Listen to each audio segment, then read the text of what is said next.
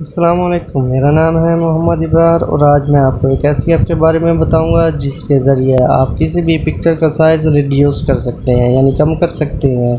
तो चलते हैं उस ऐप की जानब। ये आपके सामने एक रैम नाम की एक एप्लीकेशन शो हो रही है। ये एप्लीकेशन बहुत ही मुफीद है। ये आपको गूगल प्ले स्टोर या इंटरनेट से ईज़िली मिल सकती है। आपने जस्ट इस पर क्लिक करना है। क्लिक करने के बाद ये इंटरफेस आपके सामने आ जाएगा।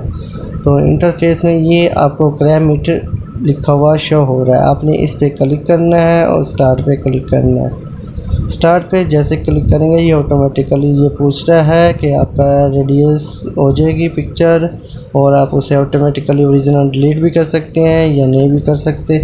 आपने जस्ट यस पे क्लिक करना है, आपके उस लोकेशन पे पहुँच जाएगा जहाँ पिक्चर्स पड़ी हुई हैं। तो आपने वहाँ से पिक्चर उठानी है और क्लिक करना है उस पिक्चर पे।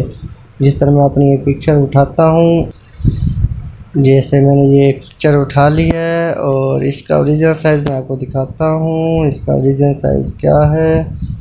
इसका ओरिजिनल साइज़ है चार सौ सतवंजा, चार सौ उनसठ सात के बी तो अब मैं इस ऐप के ज़रिए इसका साइज़ करता हूँ, मैं इसको सेलेक्ट करता हूँ और क्लाइमेट पर क्लिक करता हूँ। अब ये देखिए, इसने इसका फोर्टी फोर परसेंट जो साइज़ है रिड्यूस कर दिया है इमेज का।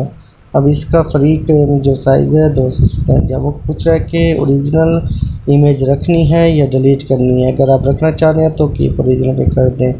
और नो थैंक्स पे क्लिक कर दें। ये था तरीका। आपको किसी भी इमेज को क्रैम करने का। अब मैं आपको वो इमेज दिखाता हूँ जो क्रैम हुई है।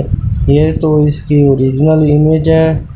जिसका मैंने आपको बताया कि चार सौ उनसठ शरिया सात के भी है। और अब मैं आपको उस ओरिजिनल एप्लीकेशन के ओरिजिनल पिक्चर पे ले जाता हूँ जो अभी मैंने क्रैम की है।